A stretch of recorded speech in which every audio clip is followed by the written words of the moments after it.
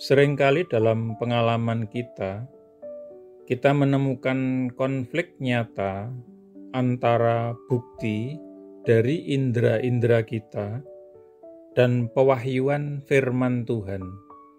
Sebagai contoh, kita mungkin melihat dan merasakan di dalam tubuh kita semua bukti-bukti penyakit fisik namun Alkitab menyingkapkan bahwa Yesus sendiri mengambil kelemahan-kelemahan kita dan menanggung penyakit-penyakit kita tercatat dalam Matius 8 ayat yang ke-17. Dan oleh bilur-bilurnya kamu telah disembuhkan tercatat dalam 1 Petrus 2 ayat yang ke-24. Di sinilah konflik yang nyata terjadi. Indra-indra kita memberitahu kita bahwa kita sedang sakit. Alkitab memberitahu kita bahwa kita telah disembuhkan.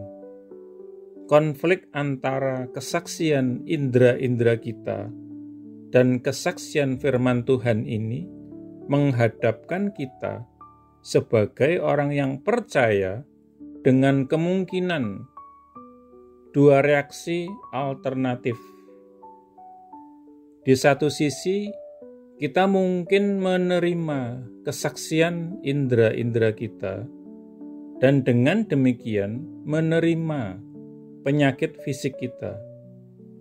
Dengan cara ini, kita menjadi budak-budak dari pikiran karnal duniawi kita. Di sisi lain, kita mungkin berpegang teguh pada kesaksian firman Tuhan bahwa kita telah disembuhkan. Jika kita melakukan ini dengan iman yang sejati dan aktif, kesaksian indera-indera kita pada waktunya akan dibawa ke dalam keselarasan dengan firman Tuhan, dan kita kemudian akan dapat berkata bahwa kita disembuhkan bukan hanya berdasarkan iman di dalam firman Tuhan, tetapi juga berdasarkan pengalaman fisik yang sebenarnya dan kesaksian indera-indera kita. Namun, pada titik ini perlu untuk menekankan kembali bahwa jenis iman yang menghasilkan hasil-hasil ini adalah iman di dalam hati, bukan di dalam pikiran. Kita harus mengenali bahwa penerimaan mental belaka terhadap pernyataan-pernyataan Alkitab mengenai kesembuhan dan kesehatan tidak memiliki kuasa untuk menjadikannya nyata dalam pengalaman fisik kita. Perkataan Paulus dalam Efesus pasal 2 ayat 8 mengenai iman untuk keselamatan berlaku sama dengan iman untuk kesembuhan. Jadi, kita dapat berkata, "Sebab oleh kasih karunia, kamu telah sedang diselamatkan atau disembuhkan melalui iman, dan iman itu bukan dari dirimu sendiri." Itu adalah pemberian atau hadiah dari Allah bukan dari perbuatan-perbuatan, supaya jangan seorang pun bermegah. Iman yang membawa kesembuhan adalah pemberian atau hadiah, kasih karunia, kedaulatan Allah. Itu tidak dapat dihasilkan oleh segala bentuk senam mental atau olah pikiran atau teknik-teknik psikologis atau olah jiwa. Iman semacam ini hanya dapat dipahami oleh pikiran spiritual. Bagi pikiran karnal yang duniawi, itu kelihatan bodoh. Pikiran karnal atau pikiran duniawi menerima kesaksian indera-indera dalam segala situasi, dan dengan demikian dikuasai oleh indera-indera.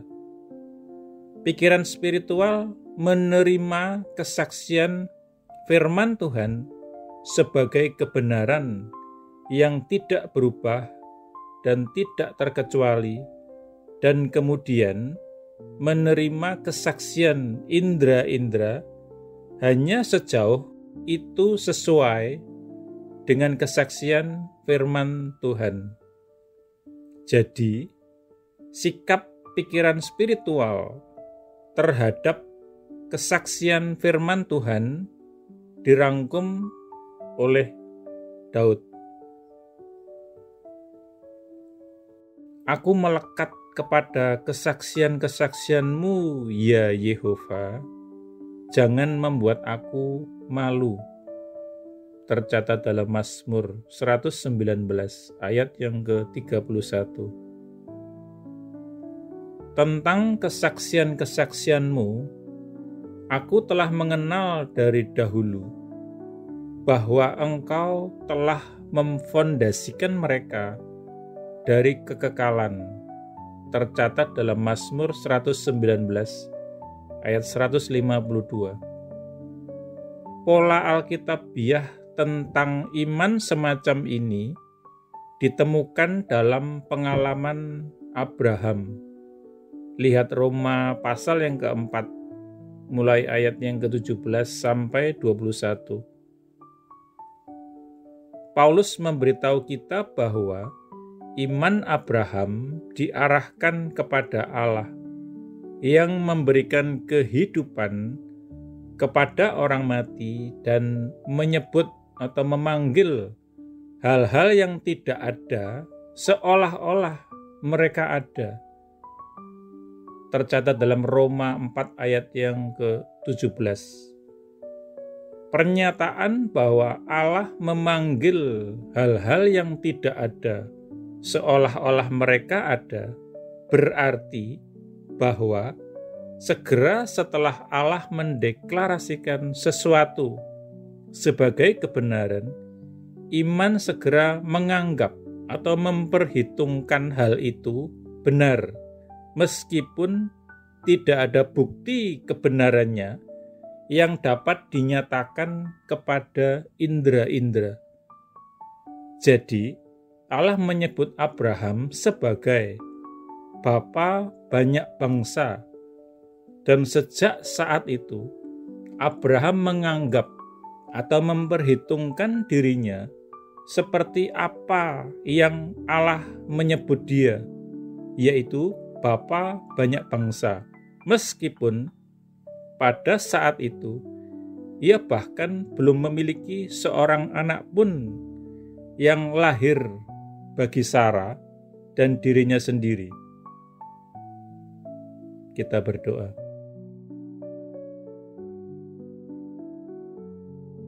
Tuhan, terima kasih bahwa apa yang Engkau katakan itu benar dan bukan apa yang aku rasakan atau lihat. Tolonglah aku untuk memahami firman-Mu dengan jelas dan untuk berpegang teguh kepadanya tanpa goyah. Berikanlah aku hikmat dan tuntunlah aku dalam hal ini oleh roh kudusmu. Terima kasih atas pewahyuan yang akan engkau berikan kepadaku. Di dalam nama Yesus. Amin.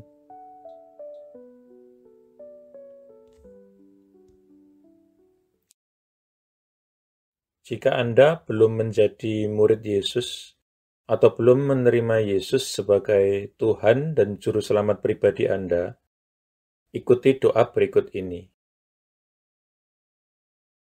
Tuhan Yesus Kristus, aku percaya bahwa Engkau adalah anak Allah dan jalan satu-satunya menuju kepada Bapa, dan bahwa Engkau telah mati di kayu salib untuk dosa-dosa yang aku perbuat.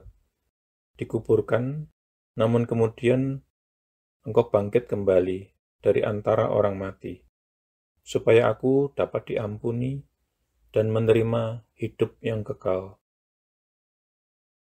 Aku menanggalkan segala kebanggaan dan pembenaran diri sendiri agamawi, dan segala macam gengsi yang tidak berasal daripadamu.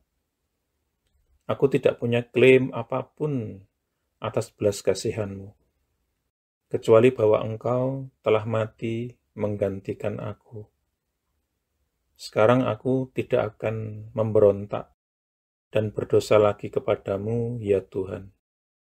Dan aku menyerahkan diriku kepadamu, karena sesungguhnya Engkau adalah Tuhanku.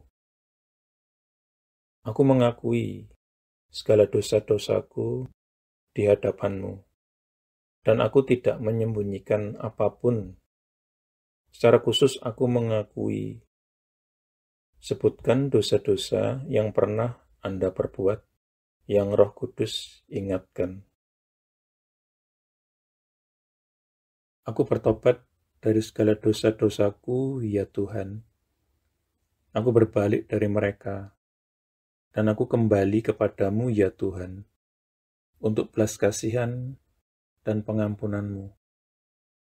Aku memohon pengampunanmu, terutama atas dosa-dosa yang menyebabkan diriku terkena kutuk. Lepaskanlah diriku juga dari akibat dosa-dosa bapa leluhurku di masa lalu oleh keputusan kehendakku, aku dengan sadar mengampuni setiap orang yang pernah melukai atau bersalah atau merugikan aku. Sama seperti aku ingin Tuhan mengampuni diriku.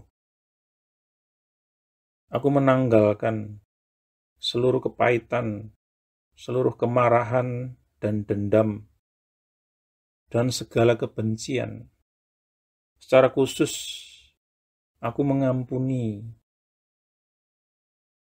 Sebutkan nama-nama orang yang Anda maksudkan. Aku membatalkan dan memutuskan segala hubungan yang pernah aku miliki dengan hal-hal okultisme dan segala macam agama palsu dan segala sesuatu yang berasal dari iblis.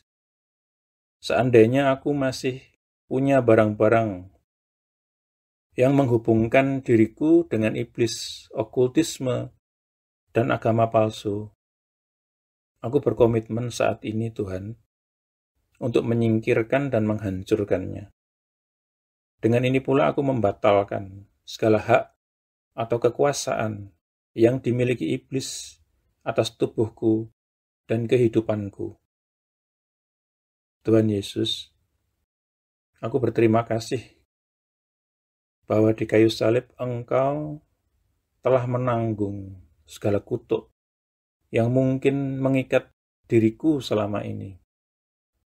Engkau telah dijadikan kutuk, supaya aku dapat ditebus dari setiap kutuk dan mewarisi berkat-berkat Allah. Atas dasar itu, aku memohon Engkau, Tuhan, untuk melepaskan aku dan membebaskan aku dari segala kutuk yang mengikat kehidupanku di dalam namamu, Tuhan Yesus Kristus.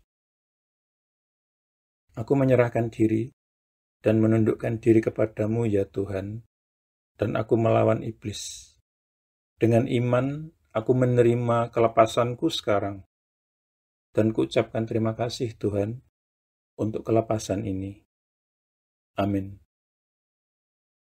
Selanjutnya Anda bisa mendapatkan pengajaran meletakkan fondasi bagi murid Yesus dengan subscribe di channel ini. Tuhan Yesus memberkati.